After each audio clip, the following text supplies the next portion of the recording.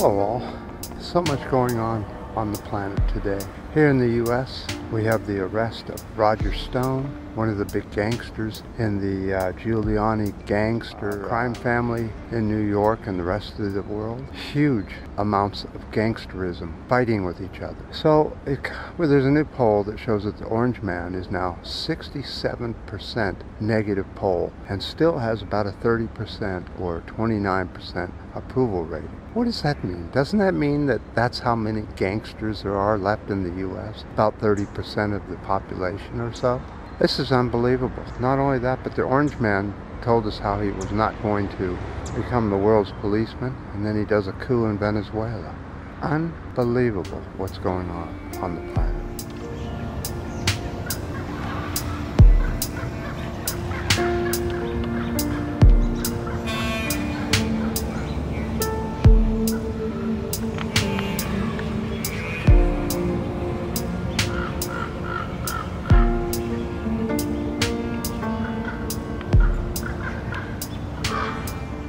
People just keep taking it.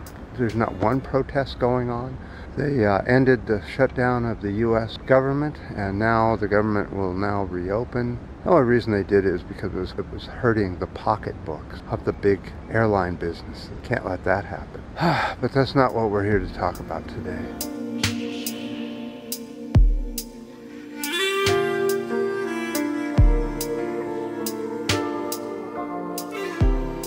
All right, having a little trouble with the camera. Doesn't want to work today on this beautiful sunny day. Can't believe this. All right, there was another study. This time,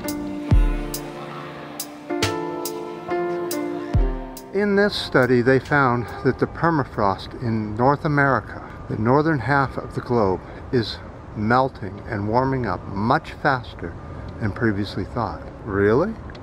They're warning that many, many feedback loops are coming online, such as methane release and carbon dioxide release in huge quantities that weren't seen ever before. And not only that, but the very feedback loop, the CO2 feedback loop, is speeding up much faster than, than the methane uh, feedback loop. So all permafrost zones throughout the world are now warming up very quickly. There's one particular place that they're studying in, uh, a lot, and that's Siberia. The permafrost is warming by 1.6 degrees F over 30 feet below the surface.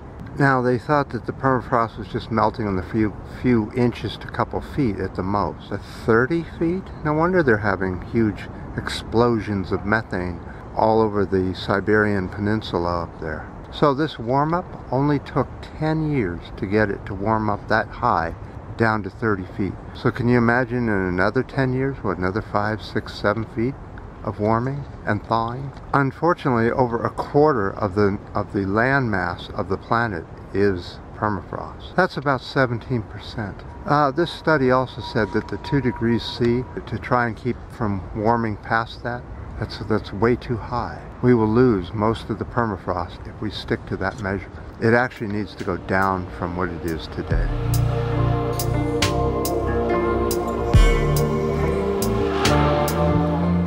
So what is the CO2 count that we've been looking at all this week, months, and years on the Pink Barrio? January 23rd, 2018, 408.85 parts per million.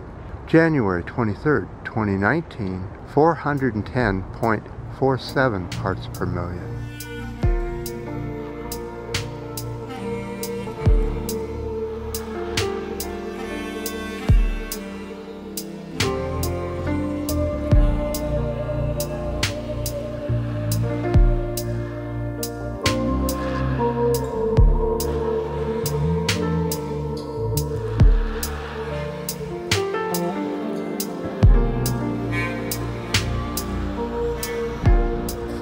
As you can see, my hat was dented on my last video right here and it made it look like my head had a dent in it, but you can see there's no dent. No hair left, but there's no dent. So what can we do about this? Of course, we can do all kinds of things. I've said it over and over and over. Stop eating meat, stop driving so much, buy a pre-used vehicle, and look at who and how and what you're voting for. And what are you eating? The lower on the food chain, the better it is for you and the planet. There's so many things we can do, and so many people just give up.